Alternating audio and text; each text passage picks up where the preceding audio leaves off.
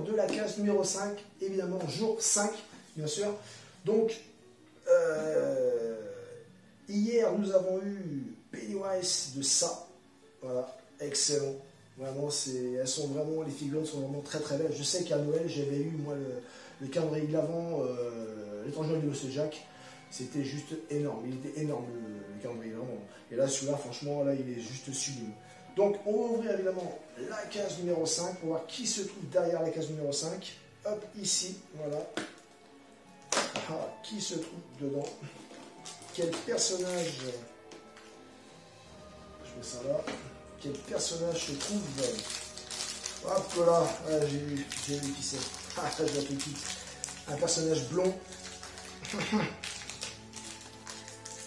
Un personnage blond, les amis.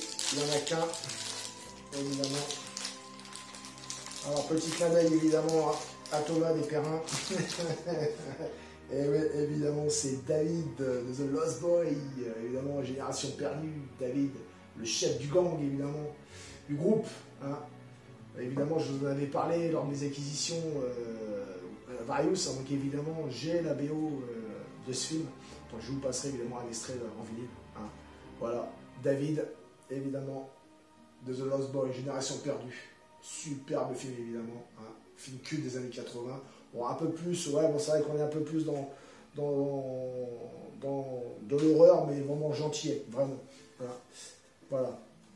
Voilà, David les amis de The Lost Boy, hein, Génération perdue. Donc moi je vous donne rendez-vous évidemment demain pour la sixième case, hein, le sixième jour. Allez, ciao les amis, à demain. Ciao